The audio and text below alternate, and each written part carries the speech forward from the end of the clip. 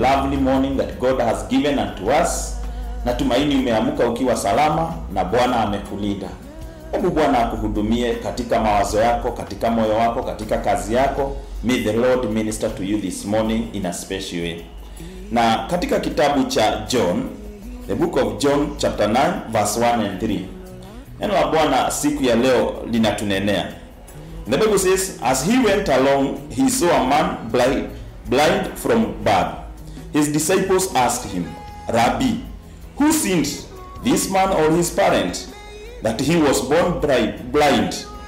Neither this man nor his parents sinned, said Jesus. But this happened so that the works of God might be displayed in him. Amen. Mpendwa, wakati mwingine unaweza pitia wakati wa changamoto, mambo inaweza kuwa haiendi vile unavyoenda, na inafikanga mahali unaanza kujiuliza, Mungu, kama ni kutubu nimetubu, Mungu kama ni kuomba nimeomba, na mpaka unaanza kujiuliza ni wapi ninaweza kuwa ni, ni, ni wapi hapo nilikosea namna hiyo. And sometimes you may have done all that you can. Pengine umeenda hata kwa wachungaji, hata wengine wakakwambia utoe dhabihu, a special offering. Wengine wakakwambia pengine ni laana za baba ya baba zako, kama ilivyokuwa hawa watu waliamini lazima huyu mtu alikosea ama babu zao. Pengine ukaambiwa ni maneno wazee wengi walisema, pengine ukaambiwa hata ni watu wanakuroga.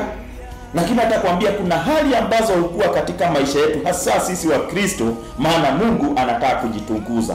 There are challenges that come that God may be glorified. And maybe even you are struggling, pengine ni wapi hata mimi nilikosea. Lakini nataka kuambia ni vizuri kuangalia mambo katika kioo cha Bwana. You see things in the lens of God. Maana ukiangalia vitu kulingana na tamaduni, kulingana na hali, it may confuse you. Na ndiposa ni ya muhimu sana kuongozwa na Roho Mtakatifu. Mpendwa, nataka kuambia wakati mwingine mambo mengine tunaachia Mungu maana aweze kujitukuza.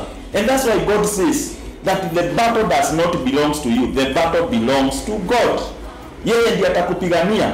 Kwa hivyo hiyo hali mwachie Mungu. Hiyo hali mwambie Bwana, wewe ndiye unanijua na unanielewa na unanifahamu. I always say, do your best and leave the rest to God. Otherwise utajipata you are going to be frustrated. Utapata kuna mambo utafanya ambayo hayakustahili, na ndio unaona hata watu wakivuka mipaka, mtu anaanza kuenda kwa manabii wa uongo, ama unajipata uko kwa waganga, as you try to sort out things in your own way. Siku ya leo mpendwa, nataka kuambia pengine na hali yako ni Mungu ajitukuze.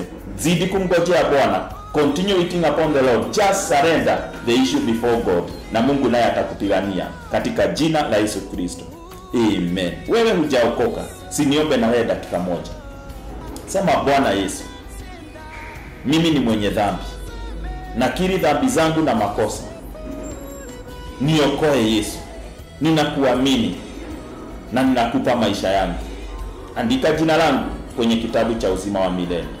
In Jesus name.